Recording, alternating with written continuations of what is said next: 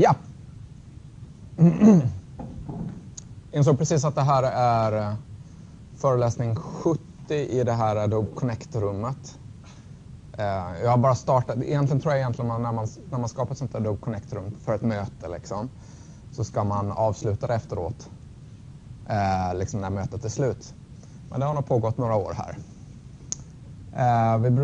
Jag har ju planerat 16 föreläsningar i den här kursen, alltså 8 veckors, 2 så.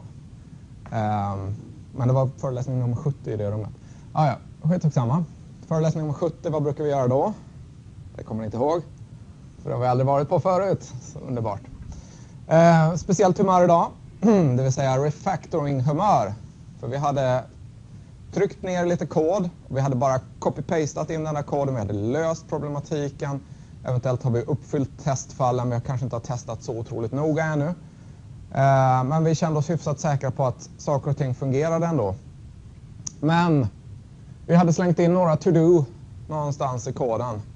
För vi tyckte att saker och ting såg lite sådär illaluktande ut. Just att vi säger illaluktande, det är för att vi har någonting som kallas för code smells. En code smell, det är alltså någonting som luktar illa i koden. Någonting som inte känns riktigt rätt i magen när vi tittar på det. Att kopiera då som jag har gjort här nu, 10 rader kod med i stort sett samma beteende och så lägga dem efter varandra, ehm, känns inte riktigt rätt hos mig i alla fall. Dessutom börjar den här metoden, eh, och nu är vi i vår controller by products. Hela metoden börjar kännas lite ehm, lite lång. Den startar på rad 51 Eh, slutar på rad 93. Eh, någon som är duktig på matte? Över 30 rader, va? Jag tycker sådär, ja men hur många rader vill man ha på som maximalt i en metod? Och Då skulle jag väl säga, ja men det borde nog få plats på en skärm i alla fall. Som störst, kanske. Eh, jag läste en bok, han har i stort sett ingen kod i sina metoder. Han skulle tycka att konstruktorn var lite stor här. För att jag gör lite många olika grejer i den. Eh, den boken heter Clean Code, är faktiskt väldigt bra läsning. Eh, han kodar nog Java i den, men eh, det går att översätta kunskaperna till vilket språk som helst egentligen. Den handlar om, mm, ja, om man tittar på den koden som jag har gjort här så gör jag några olika saker i den. Det vill säga att jag har olika ansvarsområden i den metoden. Dels här uppe så hanterar jag in data och sen här nere så genererar jag ut data. Det skulle han säga då i sin bok att okej, du har två ansvarsområden för en metod. Den både gör förändringar och spyr ur sig ett utdatavärde som är HTML och det blir alldeles för mycket. Du hanterar felhantering också och sånt där i den här metoden. så Därför börjar den kännas lite svårläst. Jag säger så här, den är längre än vad min sida är. Eh, och Därför så kanske jag borde göra någonting åt den. Dessutom så ser jag tydligt att jag har duplicerad kod i den och därför måste jag göra någonting åt den. Det här med duplicerad kod ska ni avsky som pesten.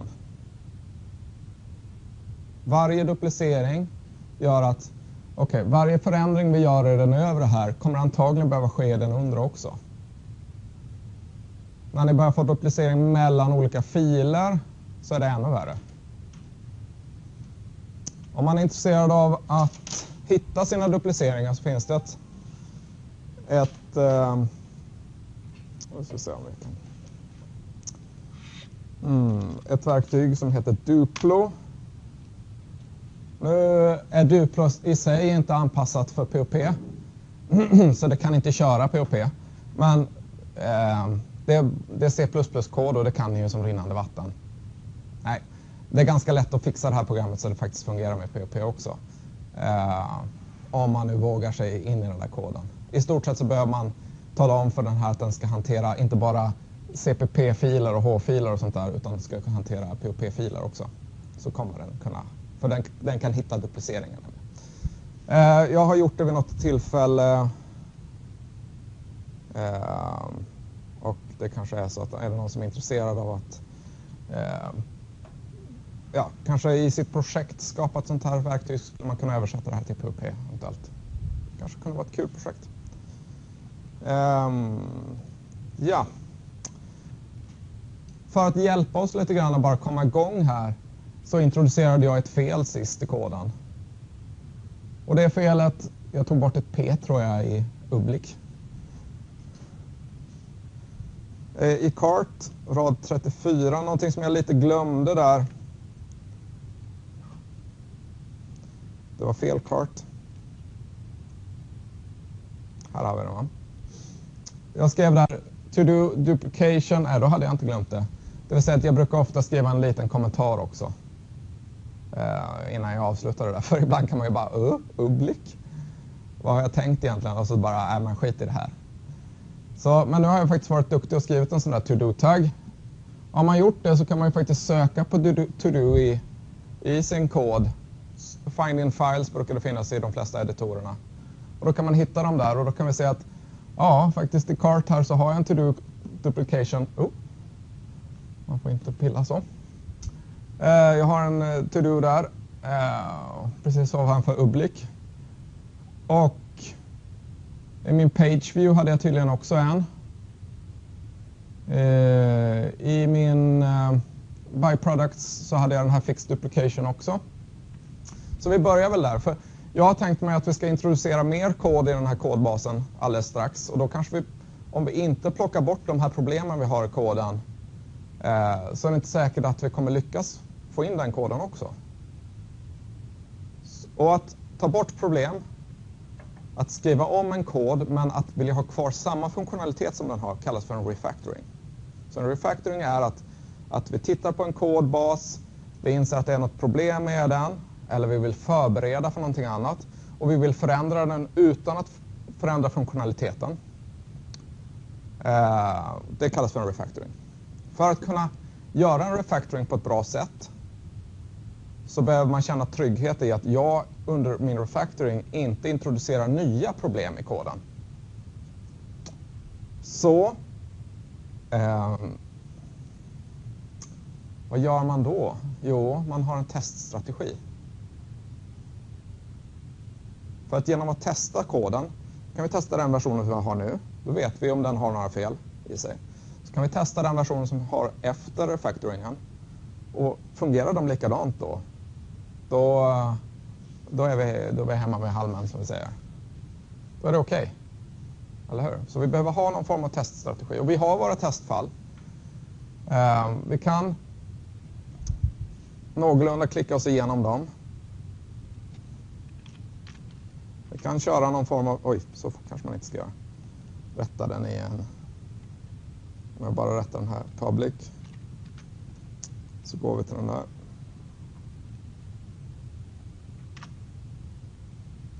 Så jag har inga produkter nu, det är en ny session. Det verkar fungera. Köper en banan.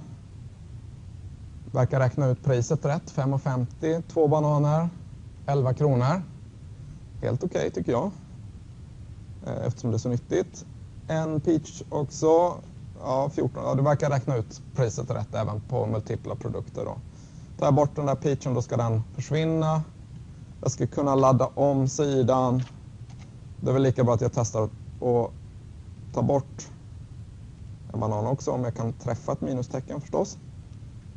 Och köpa bananer verkar också fungera. Ta bort alla bananer och så får en tom sån där. Så borde jag ungefärligt ha kommit igenom mitt, mina testfall som jag hade där. Nu gjorde jag någon form av strukturerad manuell testning och inte efter, direkt efter testfallen. Och det kan jag ju göra eftersom jag har ganska lite testfall egentligen. Så det finns inte så otroligt mycket vi kan göra. Men jag missade ett testfall va? Visst gjorde jag? Ni som har total koll på de här testfallen. Någon som kommer ihåg vilket jag missade?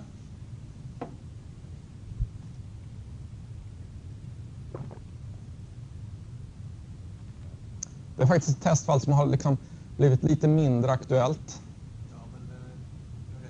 URLen, manipulation av URLen. Det testfallet har blivit lite mindre aktuellt. För numera när jag klickar på bananen här så står det inte uppe i URLen.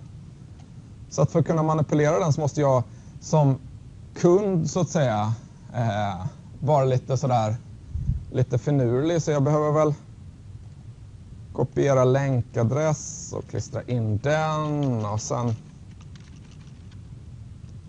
skriva Apple där. Och vad vi märker då det är att ja, men då får vi faktiskt eh, kan något fint. Är det bara jag eller har vi stavat fel till find? En bugg. Underbart. Ja, en bugg och det är i utdata. Var börjar jag leta i min applikation? Modellen. Ett rungande. Vy, ja. Precis.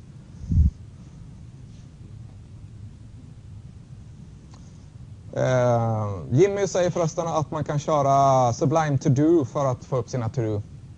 Kanon. Eh, by Apple, vi ska kolla i vår eh, vy någonstans. Och Product List View kanske? Kan det vara det? Cannot fit that product. Och jag har stavat till find där under i alla fall. Så. Vi fixar den. Och nu behöver jag faktiskt ha fixat den här buggen. Jag behöver faktiskt testa igen för att veta att den verkligen är fixad. Så jag laddar om den här sidan. Står det rätt nu? Ja, det gör det faktiskt. Okej. Okay.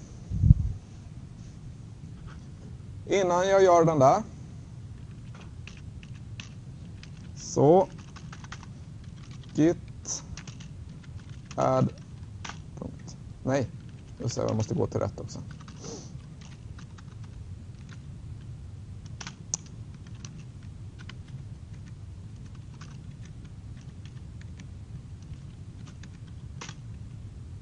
Så.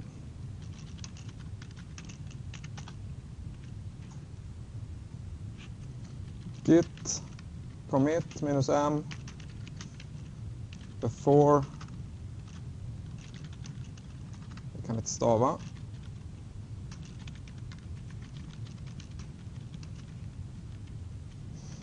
Mm. Shop. Så. Och det där är ju lätt att glömma. Men det är så skönt att kunna gå tillbaka till en fungerande version när man har förstört hela koden. Så det är rätt viktigt att göra den där grejen. Och vad jag gjorde nu är att jag gör en lokal commit. Jag har inte pushat upp det till servern än. Jag skulle mycket väl, om jag jobbar tillsammans med andra så, och jag vet att jag har en nytestad fin fräsch version av koden så skulle jag kunna pusha upp det här till servern. Eftersom jag använder Git så kan jag bara pusha det lokalt också. Använder vi Subversion eller sådär så kanske jag blir tvungen att eh, alltid pusha upp det till servern. Um, ja, men det här är viktigt att, att först göra en, eh, en commit där helt enkelt. Så, så att jag kan återgå till den fungerande versionen som jag hade. Och det här gäller ju också förändringar kanske i databas och ja, all, alla möjliga förändringar egentligen så ska man göra det så ofta man kan. Okej. Okay. Jag tror att saker och ting fungerar. Jag vill ta hand om det här. I det här fallet så kommer antagligen inte de här två sakerna ske samtidigt. User buys product, user removes product. Och eftersom de är så lika eh, så skulle vi eventuellt kunna säga något, fråga vyn alltså, gör användaren någon förändring nu istället? Skulle vi kunna fråga här uppe. Och sen med vilken produkt arbetar användaren med? Och sen skulle jag kunna fråga, köper han produkten? I så fall så anropar jag add product. Om han inte köper produkten skulle jag kunna fråga, vill han ta bort en produkt? Eller så har jag bara else där ifall det nu är två, bara två olika actions jag kan göra. Och sedan så add by success message och add remove success message. Två stycken funktioner. Men egentligen så vet faktiskt vyn här som jag försöker berätta för att okej, okay, det här gick bra. Den vet faktiskt vad jag har försökt göra. Eftersom jag har frågat den vad det är jag försökte göra. Så jag skulle kunna ha någon form av eh, suc eh, ja, success message egentligen bara. Set success. Vi lyckades göra den actionen du ville göra. Är ni med på förändringen? Så.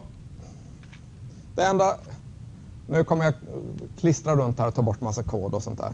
Det enda som jag vill ha kvar det är att jag vill komma ihåg att man kan ta bort en produkt. Så jag flyttar upp den där. Och sen slänger vi den biten. User changes cart. Kanske? Jag vet inte riktigt om det är det vi, vi, vi tycker att man gör egentligen. Uh, ja, ja, men det, det, får väl funka så länge. Okej, okay, uh, eh, get selected product. Och if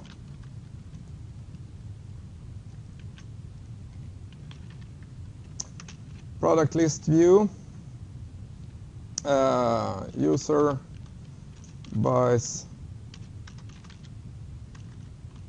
product. Om man köper en produkt så gör vi den. Else den. Och sen kör vi success Set. success message. Tror jag bestämt. Och går all, oavsett vad det är, om jag tar bort eller lägger till någonting så vill jag ladda om eh, sidan då för att få bort de här sakerna på URLen. Och den hade vi ju här nere, så det tycker jag är ganska fine. Det var den ena biten. Och det här är ju så skönt att bara, ja, men jag står i den här metoden nu och så jag har ett visst beteende men jag känner mig inte låst vid det beteendet. Och nu när jag kör den här koden så kommer den att berätta för mig att user changes cart inte finns och den kommer att berätta för mig ifall jag, nu vet, minns jag inte ens vad jag hade där innan men det kanske het, hette sådär. Och den kommer fortfarande gällas då. Så den behöver vi i alla fall ha. Product list.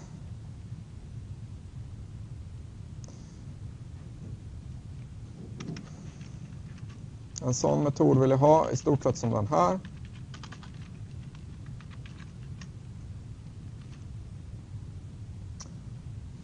Och den här user changes cart skulle i stort sett kunna vara kunna anropa user buys product. Och då behöver vi använda this här då för att komma åt den. Antingen köper vi en produkt eller user removes product.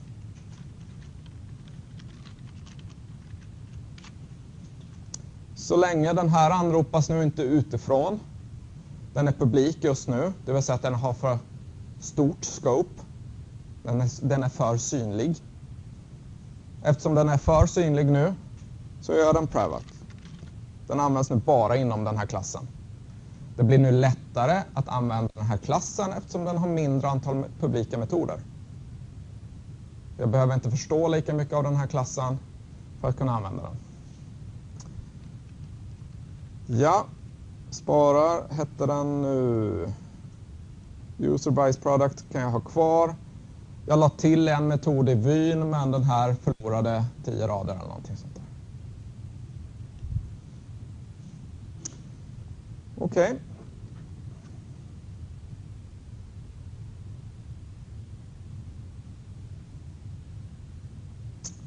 Okay. Yes. Så vi ska ta och testa den nu då. Det är säkert någonstans jag glömt att spara. Den där ska väl finnas kvar. Så har jag kört det jobbiga testfallet först. Köper väl mig en banan. Set success message hade jag glömt. Gör ingenting eftersom jag har en teststrategi som ser till att koden körs. Och det andra då, att koden verkligen kastar de här felen då. Ehm, så, set success message, bla bla bla, där någonstans. Och de hade vi... Var det i kart var det kanske? Det var där vi fick dem. Okej. Okay. Och här hade jag ju min andra to-do problemet. Så den här anropar jag inte längre och jag har ingen direkt användning för den så jag plockar bort den. Uh, action completed lika med true. Jag vet inte riktigt om det ska vara det. Eller success. Action success kanske. Jag tror nästan det. Är det inte bättre att ha typ en allmän message-sektion? Där du bara kan spara dina stänger. Mm. Ja, jag får frågan här, är det bättre att ha en allmän eh, message eh, hanterare antar jag att du menar, som, som har hand om just den här platsen i sessionen? Ja, det är det. Och vi, vi kommer titta lite grann på det där för att eh, den här klassen nu, om man nu skulle gå efter den här clean code så säger han att du håller på med massa olika saker här. Du hanterar meddelanden, du genererar ut data, du hanterar in data eh, på avancerade sätt. Du, du, borde liksom dela upp den här klassen som har börjat bli lite jobbig. Och eventuellt så när vi får många controllers och många vyer så kommer vi vilja ha meddelarhantering överallt. Men jag skulle nog vänta med den där klassen tills jag har meddelandehantering i flera klasser. Det vill säga att nu börjar jag få duplicering mellan flera vyer. Jag har meddelandehantering här och jag vill ha meddelandehantering i en annan vy också. Då hade jag genomfört den. Ehm, kontrollern tycker jag är så viktig att hålla ren, för det är där man kan förstå hur programmet fungerar. Eh, så därför tyckte jag att det var väldigt viktigt att göra den här dupliceringsrefactoringen nu redan. Eh, men vi noterar också att jag har ett strängberoende här mellan här och där platsen där jag tar, kommer ta emot den här också. För nu står det ju faktiskt inte samma sak här, så nu, kommer, nu funkar inte den koden. Och eftersom jag ser det och vi vet och vi har pratat om, om kodkvaliteten att de här strängberoendena är lite farliga så skapar jag mig en privat static eh, message holder. Kanske. Lika med. Och nu när jag gör det så skulle jag vilja kunna berätta för någon som eh, som tjuvkikar i min session att den här platsen hör till den här klassen. Så är det någon som tittar på sessionen, låt säga vi kör vardum på sessionen, så kan vi titta och så ser vi, nu hade det stått action success där. Jaha, men vad hör det till? Och nu säger jag ju att vi ska ju kapsla in just den här platsen i sessionen till den här klassen. Så varför inte låta klassens namespace och kanske till och med insert cart namnet på klassen ingå. Då vet jag precis att ja, men det är view cart, okej, okay, action success. Då kan jag gå till den här klassen och titta. Och det sättet brukar jag göra även i post till exempel. Där du har där du också lägger någonting i, i en uh, variabel någonstans. Så att ja, men det är den här vyn som har hand om den här platsen i post. Get, då syns ju det här i URLen och då tycker inte jag det är så snyggt att mina klassnamn och vad de heter ligger i, i URLen. Så där, och där vill jag mer kanske att det ska vara lättläst för användaren. Uh, så då, då eh, undviker jag det där. Då. Semikolon. Hade vi en sån här static här, då var det den här grejen som hängde fast vid klassen. Va? Det vill säga varje objekt av den här klassen har inte en egen kopia av den här. Utan eh, alla varu, varukorgar har samma plats. Och Det där är ett medvetet beslut i det här fallet för jag tänker mig så här att du kan bara ha en varukorg. Men det är viktigt att, att veta att det där är ett medvetet beslut. För det skulle ju kunna vara så här att jag vill kunna ha flera varukorgar samtidigt levande. Jag har liksom min shoppinglista till mig själv och till julklapparna och sen har jag den här som eh, till eh, min son och till min dotter och till min svåger, whatever. Så har jag tio shopping cart. Men det är ju ett helt annat program, va? eller en helt annan shop. Men man skulle kunna tänka sig att du har ett gäng med olika kataloger eller vad det nu är för någonting. Men beslutet som jag tar här i och med att jag tar statics, det är att säga att för varje användare varje session egentligen så finns det bara en shopping cart. Eh, eller en plats till att hålla sina meddelanden i alla fall. Ja, för att komma åt den där nu. Kommer vi åt någonting på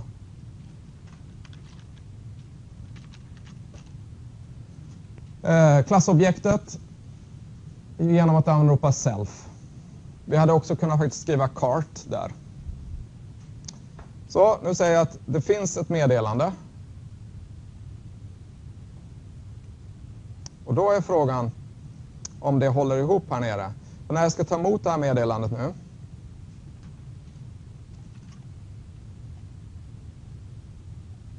Här, jag ska ta emot det meddelandet, kolla finns det?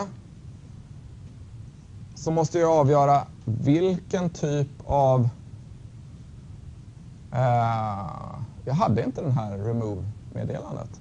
Ser ni det? Jag hade glömt det va? Det var ju spännande. Då låter jag det vara så här först. Eh, men när jag gör den där remove-meddelandet, jag vill bara testa att det här fungerar först så att jag inte försöker göra flera grejer samtidigt. Jag vill alltså göra en factoring, testa färdigt den och sedan så eh, eh sen så kan vi ta tag i det där att vi inte får ett remove-meddelande. Eller att vi snarare vet att vi får fel meddelande. Så spara den. Buy banana. Jag har en extra banan, jag köper mig en till. Jag plockar bort den. Grattis till ditt köp. Det buggar lite. Okej, okay, men applikationen verkar hyfsat hänga ihop fortfarande. Jag har inte testat det där med äpplen. Men när jag testar så kan jag ju faktiskt göra ett val att, att jag tror inte det där med äpplen hade med det här meddelandet att göra. Det skulle det ju kunna ha, det är ju också ett meddelande. Så har jag laddat om sidan därefter att han har manipulerat. Nu är det ju faktiskt så att när jag ändrar URLen där uppe, han köper sig ett äpple, eller försöker göra det, så, så har jag inte den här reload lika med true. Så det körs inte. Och eftersom jag vet det så då, okay, men då behöver jag inte köra det testfallet i det här. Så man kan välja ut vilka testfall man vill göra. Eh, jag var på en, en konferens och pratade med en kille som utvecklar eh, eh, ett system som, som sitter i, i sådana här bilar som vi har här utanför. Det var så här kod som kör i en dator som sitter i en bil. Som kanske styr motorn och sånt där. Deras testfall tar tre veckor att köra. Och det är för att de har speciella servrar som måste sättas upp och sånt där. Och då kan det betyda att om vi nu skulle utveckla någonting på den här bilen. Vi vill ju naturligtvis att det ska testas riktigt bra. Så att innan det sätts i drift så måste man göra den här tre veckors testningen. Men om jag sitter och bara gör någon liten ändring i programmet som det här vad det nu är för någonting, litet meddelande som kommer upp i displayen till honom. Um, då vill jag inte köra hela den här testsviten för det blir sån otrolig turnaround-tid tills jag får koda igen. Så nu har jag gjort en förändring, okej okay, vi syns om tre veckor. Så får ni köra den där miljonprocessen. Det funkar ju inte så utan då väljer jag ut precis de testfall som jag tror hör ihop med det här eh, kravet som jag håller på att ändra. Yes, som vi kan ha en selektion där. Det är en helt annan kurs. Okej, okay, vi har tagit oss igenom det.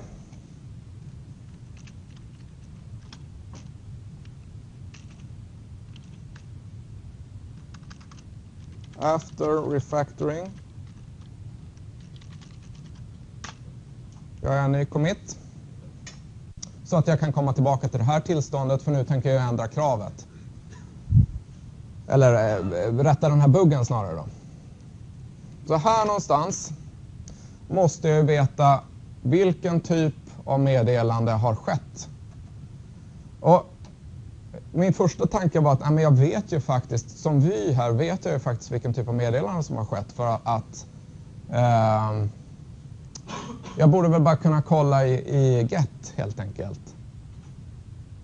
Men Chi fick jag. För i get så finns det ingenting. Om vi bara vardumpar hela get här.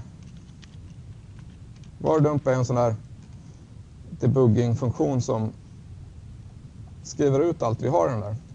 Jag bara laddar om den där och så köper vi någonting. Och så ser vi att nej, i det här fallet när jag kommer och tänker skriva ut det här meddelandet så har jag inte ett jota uppe i get. Och det är ju inte så konstigt för att uppe i URLen här uppe, som för övrigt knappt syns, så finns det ingenting. För jag har ju laddat om sidan så de sakerna har ju försvunnit. Det betyder att typen av meddelande måste jag också spara på min plats i sessionen.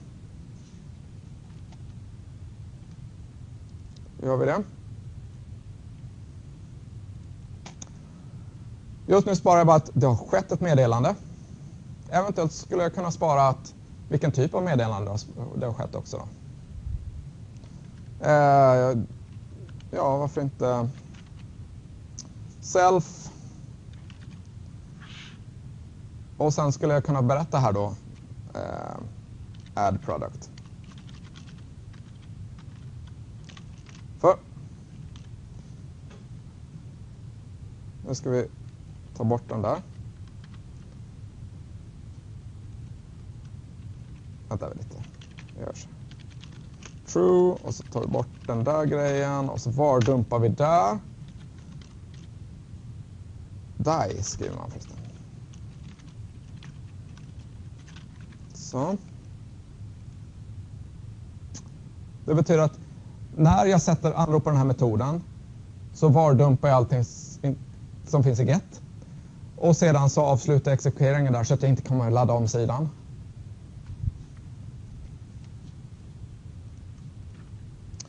Så, köper någonting och där kan vi se att okej, okay, det finns faktiskt saker i get och det finns en banan där som jag vill köpa. Så här skulle jag kunna fråga, i just den här funktionen så har jag tillgång till informationen som krävs för att utföra den här.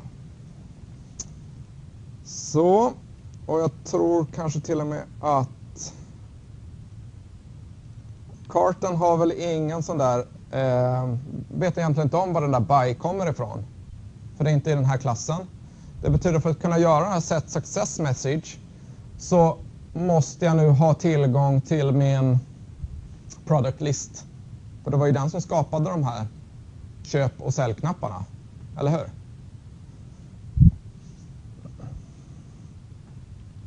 Och det har jag ju tillgång till, den har jag här. Så vi kan väl fråga den då. If this product list view och user buys product tror jag den hette. Men jag är så lat så jag vill kopiera överallt. Om han vill köpa en sån produkt sätter jag den där till någon form av privat statisk variabel som har någon typ av värde. Uh, så. Else add product. Kan vi plocka bort den biten där.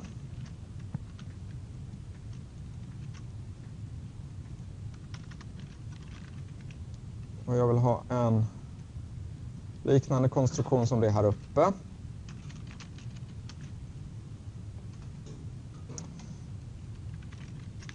Och en till.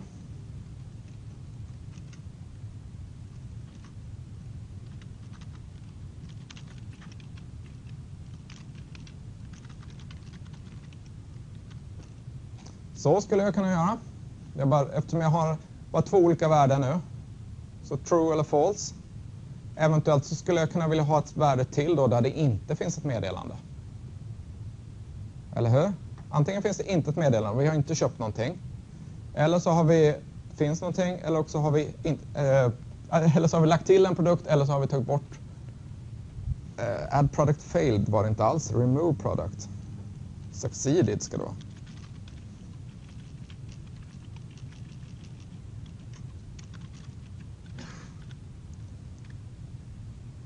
Mm. Och där nere står det ju inte så, utan sådär. Va? Okej, okay, här nere då där jag vill skriva ut det där. Uh, nu säger Jimmy, lägg till en slutparentes. Har jag missat någonstans? Där va. Tack. Kanon att ni har koll på mig. Uh, när jag kollar här nere då, så fallet där det inte finns någonting i den här platsen är ju egentligen det jag kollar med i set här. Så här inne måste jag nu ha en if-sats. Och så kollar jag om det är lika med och true kommer jag ju knappt ihåg vad det var för någonting. Ja, och jag behöver faktiskt inte veta det, för jag, jag bör inte skriva true här nere. Eftersom true inte betyder så mycket för oss. Message holder true. Eller hur? Är ni med på det? Även om det står där uppe. Så det är ju lite, lika, lika, lite likadant som ett strängberoende. Att skriva true här nere. Jag måste alltså komma ihåg vad true betyder. Och i det här fallet betyder det add product succeeded.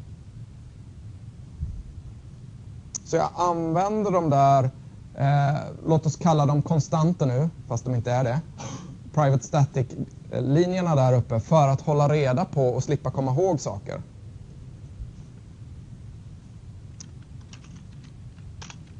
Så. Grattis till ditt köp. Kommer göra dig gott. Else.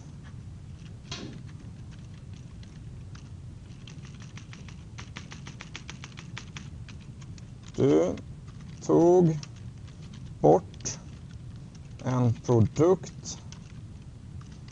Är du verkligen säker på detta? Frågetecken. Nej. Um. Så. Duktig användare. Jag ska inte hålla på och fjanta. Vi börjar närma oss pausen va? Um. Där har vi det. Och sen Unset Message Holder känns som att det fortfarande fungerar. Kommer ni ihåg vad vi pratade om tidigare om att eh, göra flera olika typer av saker i en, i en funktion och att funktioner helst ska hålla sig inom. Den här funktionen nu, GetCartHTML, börjar nu också lida av båda problemen, att den börjar bli lite lång. Och den hanterar den här utdatat och hanterar den här sessionsplatsen, vilket gör att den börjar bli lite svårläst. Men innan vi tar tag i det, om vi nu tänker ta tag i det, kommer kan vi köpa oss en banan. Grattis till ditt köp. Jag laddar om en gång bara för att se att den här feedbacken försvinner. Du tog bort en produkt. Du tog bort en produkt. Grattis till ditt köp. Det ser fantastiskt fint ut. Det är svårt att träffa det där minustecknet. Så, fantastiskt. Någorlunda väl testad också. Yes. Så, men nu börjar ju din meddelandehanterare börja bli lite aktuell där i och med att den här funktionen nu börjar kännas lite kladdig och kanske den här vyklassen börjar kännas lite kladdig. Ehm, ett annat tecken på att den här Cart View nu, eh, att man kanske borde göra en refactoring, är det här beroendet mellan, en, mellan Cart View och den här produktlistan. De här vyerna börjar liksom grottas ihop med varandra nu och byggas ihop. Och särskilt nu om det skulle bli så att jag får ett cirkulärt beroende, att min, min eh, product list nu behöver ha en kart någonstans för att kunna göra sin uppgift. Då har jag verkligen liksom ja, fått skägget i brevlådan. Skitit i det blå skåpet och ja, vad det nu heter.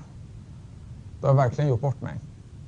Just nu så tycker jag det kan vara fine. Vi, vi, vi kan eh, lämna den här koden nu så kan vi göra en refactoring eh, kanske nästa vecka av just de här sakerna i vyerna där nere.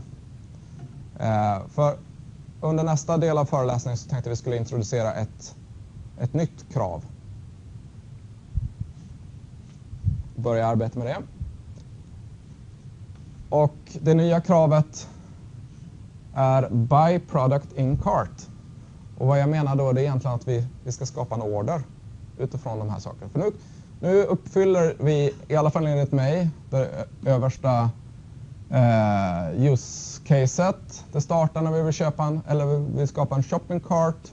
Ett post condition är att ett cart är, eh, är skapad med produkter i. Eh, systemet presenterar vilka produkter som kan bli köpta. Kunden väljer de produkterna. Systemet lägger till de produkterna till en shopping cart. Vi räknar ut, hur många, eller räknar ut kostnaden och presenterar hur många det är. Och användaren kan ta bort och lägga till produkter. Så det känns som att vi uppfyller första, det där, första eh, användningsfallet. användningsfallet. Ja, precis. Eh, Tobias får undervisa mig ibland för jag säger användarfall. Så. Usage case. Ah, ja, whatever. Um, en precondition till use case 2 är att det finns minst en produkt i vår cart.